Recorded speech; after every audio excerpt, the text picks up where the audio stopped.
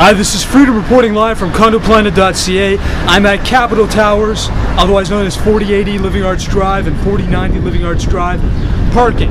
A lot of people that move in are always concerned about guests. Are they going to have trouble getting parking or not? This building's a little tricky, I'll admit it. Uh, there are not many parking spaces available in each building, actually only 12 per building for visitor guest spaces. That's how many at all. And uh, But there are lots of paid parking available on the streets of Living Arts Drive and uh, and other streets cutting across. So there's a lot of surrounding parking, but your your visitors will have to pay. It's a first come first serve basis for visitor parking. Uh, you only are allowed seven visitor parking passes per month. That's not overnight passes only. That's even if your guest stay for half an hour or an hour. Uh, there's no difference. Uh, if your guest stays for half an hour, that's one pass gone.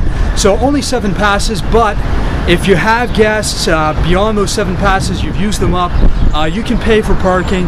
You can get parking permits issued at a cost of a uh, dollar per half hour, uh, 12 hours for six bucks, and a week for 99 bucks.